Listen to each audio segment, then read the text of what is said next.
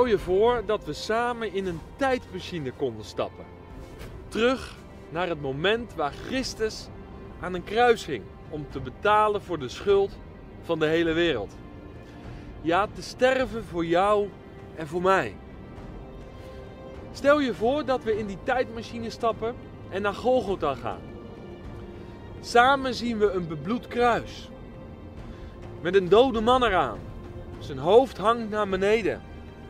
Zijn armen wijd uitgespreid. Stel je voor dat er op dat moment iemand naar ons toe komt lopen en ons vraagt, terwijl hij naar het kruis wijst: Zijn jullie met Christus gestorven? Wat zou dan je antwoord zijn? Ik weet het. Het is een lastige vraag. Waarschijnlijk zou je diep onder de indruk zeggen: Jezus is voor mij gestorven. Ja, zegt die man. Dat geloof ik. Maar ben je ook met Christus gestorven? Wat zou dan je antwoord zijn? Wat zou dan mijn antwoord zijn?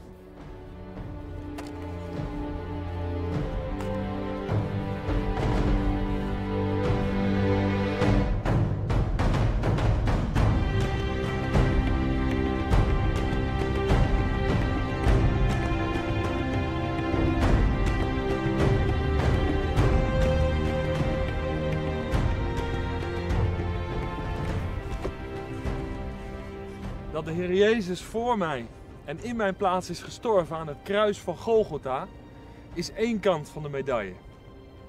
De andere kant is dat toen Jezus stierf aan het kruis, ik als gelovige ook ben gestorven. Dat vraagt om uitleg. Paulus leert in Romeinen 6, vers 5 dat de gelovige één plant is geworden met de Heer Jezus. 1 plus 1 is in de Bijbel 1 hemelse wiskunde. Als je net tot geloof bent gekomen, roep je het uit. Hij voor mij. Als je dan wat langer met Heer Jezus wandelt en je enthousiast en toegewijd voor Hem leeft, krijg je het gevoel van ik voor Hem. Maar als je vervolgens dieper en dieper gaat verstaan wat het betekent om een kind van God te zijn, kom je tot de beleidenis: Hij samen met mij. Want alles wat er met Christus is gebeurd, is met mij gebeurd. Ik zal dat uitleggen. Het kruis van Golgotha bepaalt de christen bij zijn of haar geestelijke sterfdag. Jezus' sterfdag is mijn sterfdag. Ik ben namelijk door het geloof één geworden met de Heer Jezus. Ik leef dus niet meer, maar Christus leeft in mij. Dat betekent concreet dit. Dat mijn oude mens, dat werd geregeerd door de zonde, niet meer leeft. Jezus stierf bijvoorbeeld om bitterheid, egoïsme, negatieve gedachten, onrust en haat te vernietigen. Allemaal gevolgen van de zonde. Als ik daarmee word geconfronteerd in mijn leven, dan weet ik dat die dingen geen macht meer over mij hebben. Ik kom ze nog wel tegen, maar ze kunnen mij nooit meer in hun macht krijgen wanneer ik op het kruis vertrouw. De kracht daarvan is namelijk gebroken, omdat ik met Christus ben gestorven. De zonde heeft dus geen heerschappij meer over mij. Deze geestelijke realiteit geldt voor iedere christen. De zonden zijn niet alleen vergeven, maar door het geloof is ook de macht van de zonde in ons leven gebroken. Houd het dan daarvoor. Dat je voor de zonde dood bent. Dit, dit is het geheim van een christen.